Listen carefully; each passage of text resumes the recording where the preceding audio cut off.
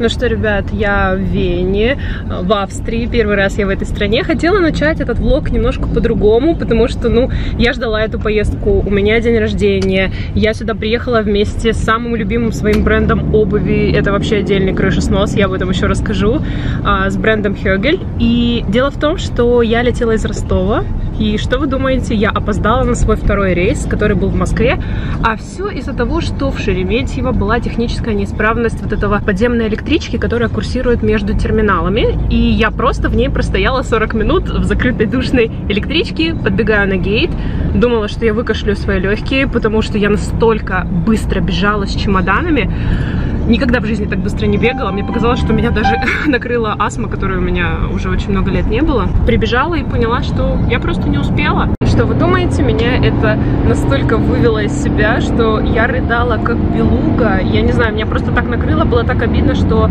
твой день рождения, и ты пропускаешь рейс. Я знаю, что ничего катастрофического не произошло, потому что реально билеты просто поменяли, и я летела не в 9 утра, а в 12. Ну, то есть, если бы не было рейсов, была бы проблема. А так, ну, я пропустила всего лишь одно мероприятие из всего списка, но было очень обидно. Так что в свой день рождения я первый раз в жизни опоздала на самолет. Вот говорят, не зарекайся, я всем хвалила, что ой, как удобно пересаживаться в Москве, как классно, через Стамбул не хочу летать, вот в Москве все супер реально не зарекайтесь. И сейчас я еду уже прям вот с самолета. Понятное дело, я переоделась, потому что в самолете я не на фэшне, в самолете я обычно в джинсах и в толстовочке, но решила, что у меня просто нет вариантов. Я накрасилась, я собралась и все, в работу, активную социальную жизнь. Неважно то, что было утром, сейчас нужно изучать Вену и получать удовольствие от впечатлений, которые она мне принесет такому контенту меня жизнь не готовила. Я приехала чуть раньше, чем остальная моя группа. Они сейчас в бутике Хёгель, куда я, собственно, и не успела. Моя обувь, надеюсь, ко мне приедет. Очень жалко, кстати, что я не попала в их флагмановский бутик. Но в любом случае я сейчас нахожусь в просто в здании, в котором я никогда не думала, что окажусь. Это uh, Fashion School, и у нас сейчас будет знакомство с, с самой школой. То есть эта школа не в, в таком понимании, как, знаете, там, алгебра, геометрия. Нет, это как практически академия. Я так понимаю, что здесь обучают моде, всему, что с этим связано. И само здание невероятно красивое. Я вам сейчас тут похожу, поснимаю, пока жду остальных. Но я просто заворожена. Вена очень красивый город, даже потому что я видела вот эти пригороды, вот эти небольшие домики, зеленые лужайки, птички. Я в шоке. На улице сейчас начинается дождь, но при этом мне на голову ничего не давит. Так что метеозависимые приветики. Давайте я вам покажу, как выглядит это здание.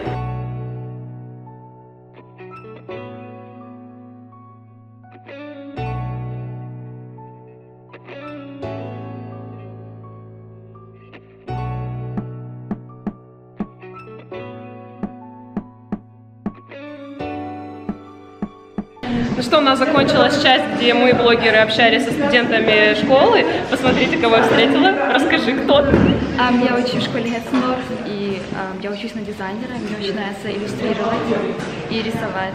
Да, человек русскоговорящий, представляете, я не ожидала встретить, потому что мы все тут на английском, на немецком, да, в основном. И так приятно встретить человека, говорящего на русском, прям себе не представляете. Я думаю, тебе тоже, да? Я не ожидала, правда, не ожидала. Я так была удивлена. Я очень разнервничалась. Когда ты сказала, что ты Россия, я да. тоже... И ты со мной на английском начала тоже говорить. Я такая... Из одноклассников я Россия, Россия. Можно себя обнять? Тут делается обувь. Ребята не только ее конструируют, но еще и сами потом делают. Колодки, разные размеры. Вот здесь тоже делается обувь.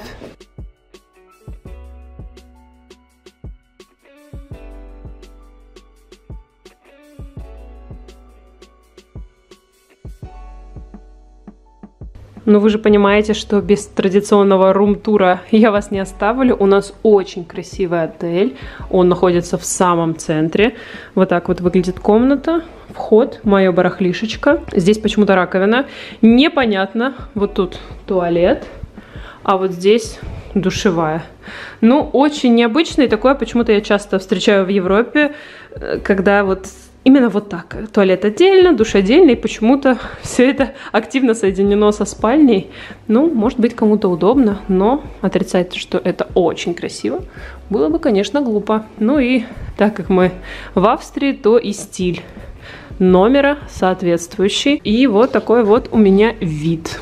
Ну что, мы уже переоделись, немножко отдохнули. Ну как переоделись? Кроссовки и штаны я оставила, я переодела только водолазочку и взяла сумочку поцивильнее, убрала свои баулы. Мы идем сейчас на ужин, так что я впервые буду пробовать австрийскую кухню. Такой вот ресторанчик. Мы пойдем, на улице очень много людей, прям ажиотаж. Но я надеюсь, что мы сядем, если честно, в помещении, потому что свежо, свежо.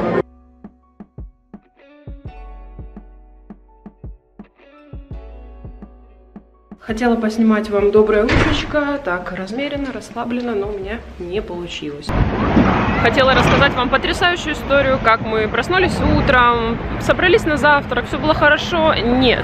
А, дело в том, что произошла небольшая лингвистическая ошибка. А, мы договаривались встретиться, как мы думали, с русскоговорящей девочкой, которая тоже из России приехала, потому что все остальные говорят по-немецки, ну и, соответственно, по-английски. И мы думали, что нужно встретиться в 9.50. Оказывается, что нужно было встретиться в 9.15. То есть такая небольшая особенность, которая выбила нас из колеи, поэтому я сегодня в очочках успела только накрасить, получается, нормально. Ну, нормально это не назовешь, нормально. В машине в притряске успела что-то там на себя намазать, но в целом буду в очках. Сегодня мы пришли на экскурсию во дворец, потому что Вена это, в принципе, город огромного количества дворцов, э, красивейшей архитектуры. И пойдем смотреть, что же там внутри этого дворца.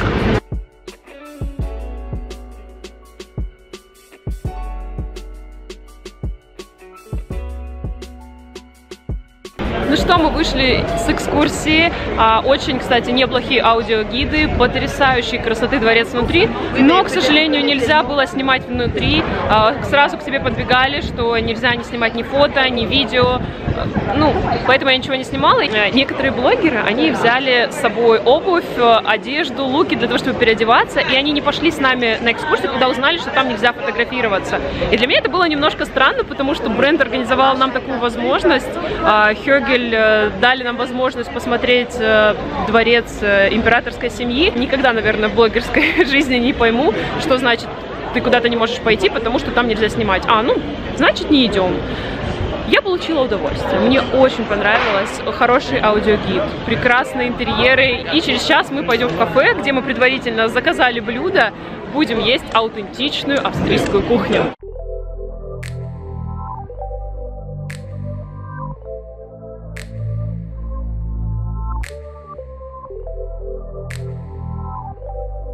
Не хочу портить с собой этот потрясающий вид позади меня, но в то же время хочу запечатлиться на его фоне. Просто потрясающе. Архитектурная красотенюшка, а сзади меня красотенюшка парковая. Я не буду сравнивать это с Питером. Вы знаете, что к архитектуре Питера особая любовь, но отрицать то, что это очень красиво, было бы глупо. Сейчас пойду поближе, подойду к фонтану.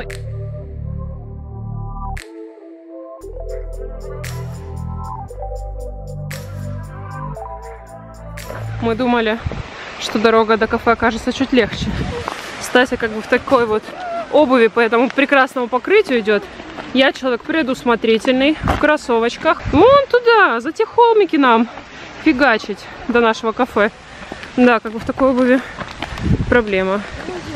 Вот так вот, огонь, ребят. Кроссовочки на экскурсии всегда брать нужно. Сюда мы как раз таки поднимались. По атмосфере, конечно, внутри выглядит так, как будто бы это столовая. Пахнет как столовая. Конечно, место, в котором это кафе располагается, это отвал башки, как говорят люди молодого поколения, потому что это как раз таки то здание, которое мы и видели на самом-самом верху. И это оказалось кафе, в которое нам и нужно попасть. Еду мы заказали заранее. Что я еще могла заказать, как не гуляш? Решила аутентичной австрийской кухни попробовать.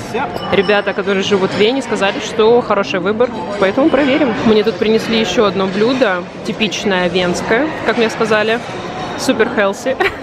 ну, понятное дело, что нет. В общем, это очень вкусно и очень-очень сладко. Я не запомнила название, но в любом случае аутентичную кухню надо попробовать. И у меня сегодня гуляшек и вот такой вот десерт. Вот так вот, собственно, выглядит вход в это кафе. Люди на улице сидят, получают удовольствие от еды под солнышком.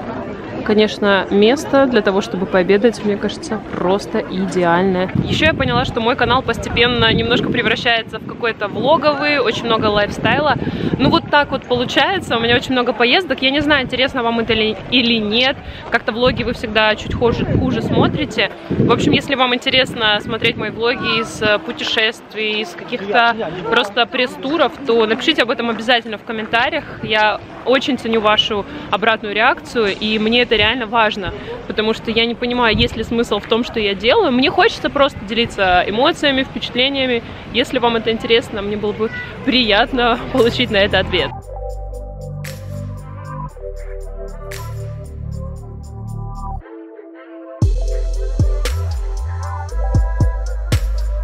А вот так вот подстригается газон. Я сначала сдалека подумала, что это просто машинки тут катаются какие-то. А а она просто катается и подстригает. Да, сейчас у нас будет обзорная экскурсия по городу на вот таком вот красавчике. Посмотрите на этот нереальный просто автобус. Он привлекает к себе внимание, все подходят с ним фотографироваться. И именно на нем мы сейчас отправимся смотреть город. А вот так вот он и выглядит внутри. Настоящая ретро-атмосфера у нас тут. А вот так вот, собственно, и выглядит наш кондиционер. Открытая форточка, потому что автобус сделан в 60-е. Кондиционеров нет. Немножко все-таки светит нам пропотец.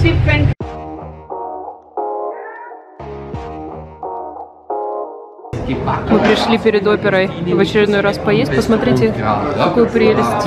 Нам тут принесли для всех мини-бургеры, какие-то еще вкусняшечки, брускеты. Не, ну все, ребят, наконец-таки жизнь устаканилась. Мне не придется тянуться через весь стол для того, чтобы насладиться едой. Простите, что мой блог превращается в фудблог, но меня так всегда в поездках. Что мы готовы к опере. Сейчас ее посетим. Быть в Вене и не посетить оперу было бы преступлением. Хотела основательно подготовиться к опере, выбрала для себя черное платье футляр, чтобы ну, оно подходило, соответственно, под формат мероприятия. Что вы думаете, я настолько сильно отекла, у меня никогда такого не было. То есть из-за того, что мы пьем мало воды, у нас здесь нет времени попить воду, то есть ну, у нас как-то ее вообще под рукой нет.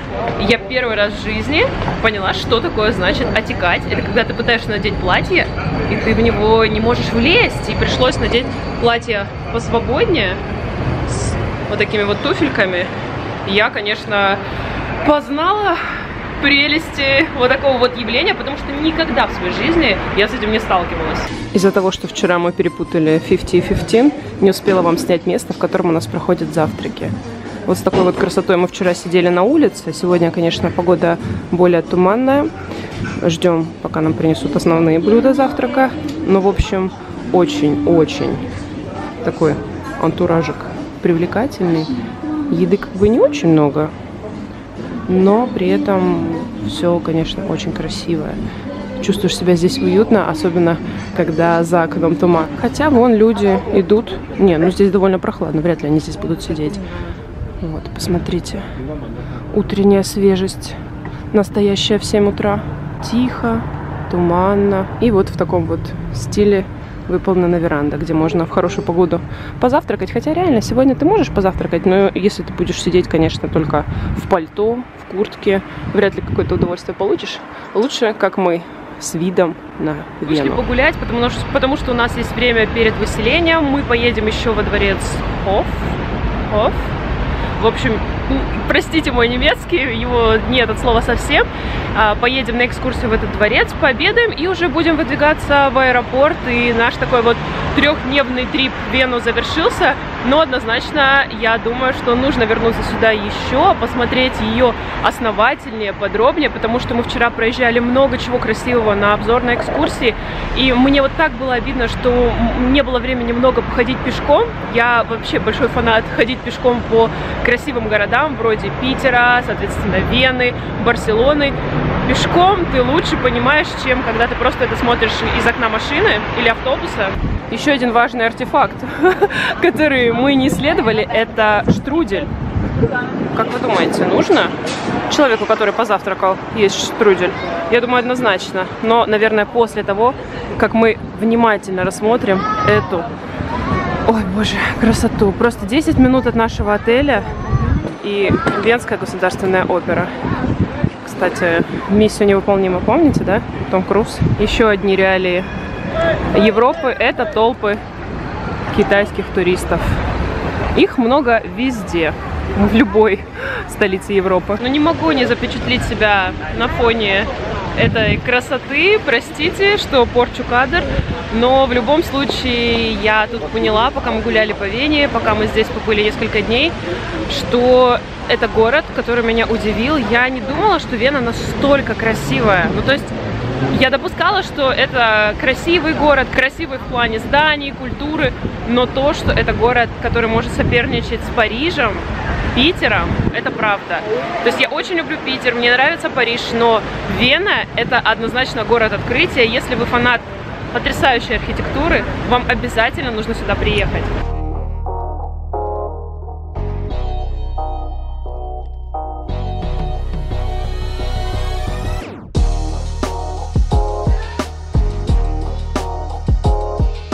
мы попали в локацию, в которую не ждали попасть. Мы думали, это оранжерея, а здесь, по-моему, продажа цветов, культур для выращивания. Вход свободный, смотрится очень, ну, ярко, во всяком случае. Вот такая вот поверхность у нас под ногами. Можно купить, что-то попробовать. Там масло, булочки даже какие-то. Но вот этот, конечно, уголок меня максимально привлек.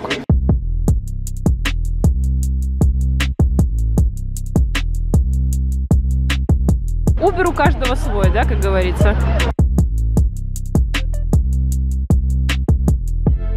Мы приехали во дворец а, Хофф или Хофф, а, и, в общем, мы думали, что здесь будет обычное кафе, но нет, здесь шведский стол. Ну, вот такой вот фудблок у меня получается. Я набрала все, что я люблю. Гриль, даже немножко овощей зачесалась тут. Ну и, конечно, картошечку фри. Давно ее не ела.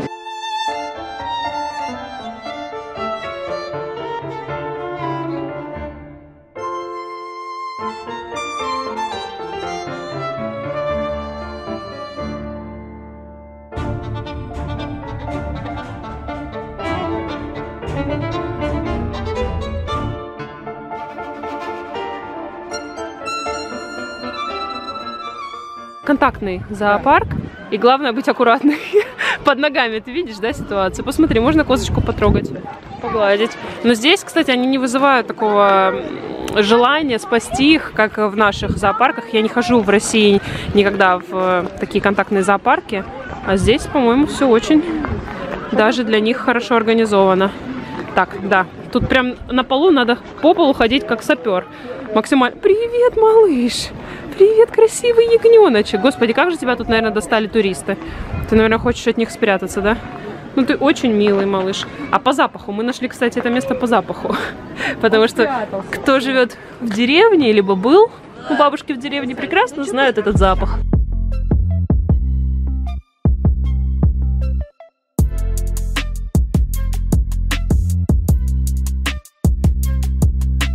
Я нашла себе еще одного друга. Он прям смотрит на меня и гипнотизирует. Вы просто посмотрите. Какой или какая красавица. Вот так, в самую душу. Не могу оторвать взгляд просто. Как же мне нравится барашки. Так, там началась разборка питерская. Идет подмога. Разводящий местный. Решил посмотреть, что там за суета.